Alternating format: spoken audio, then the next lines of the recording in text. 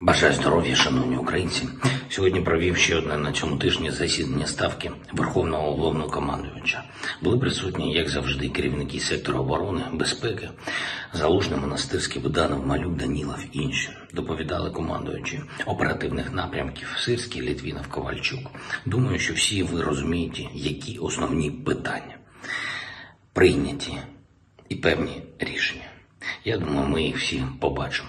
Розглянули сьогодні також питання забезпечення наших військових всебічної підтримки Збройних сил України. Провів нараду щодо подальших кроків держави у європейській інтеграції.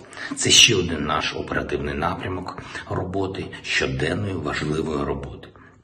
Для нас рух України в Євросоюз, трансформація всередині нашої країни це те, що є одним з ключових елементів довгострокового захисту держави, гарантію свободи для усіх українців. Тому євроінтеграційний процес заслуговує не просто окремої уваги до політичних, економічних, соціальних, правових аспектів, а цілісного підходу. Рухаючись до Європи, ми посилюємо українське національне життя в цілому. Впевнений, що Україна стане повноправним членом ЄС.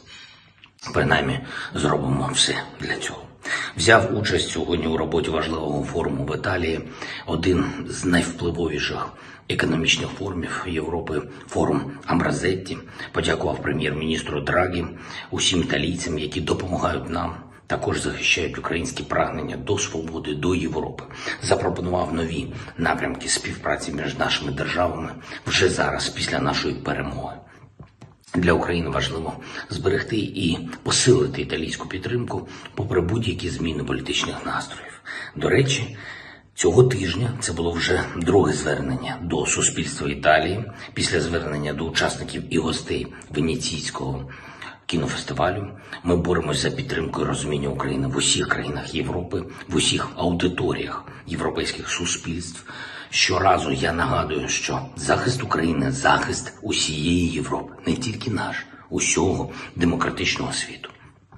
Саме з цієї точки зору варто розглянути погодження сьогодні країнами Великої Сімки рішення щодо обмеження ціни на російську нафту.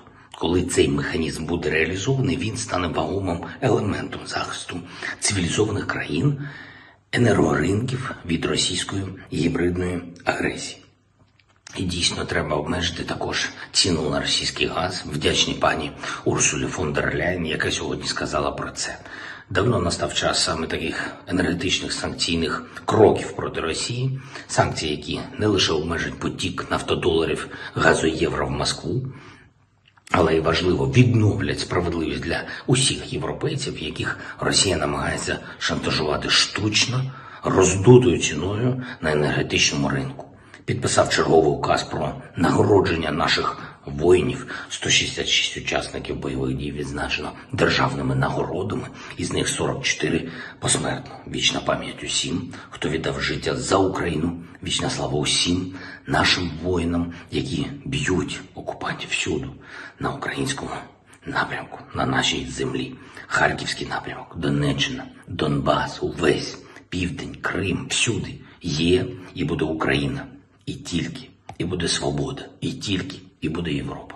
Ми ніколи не віддамо свого окупантам. Слава Україні!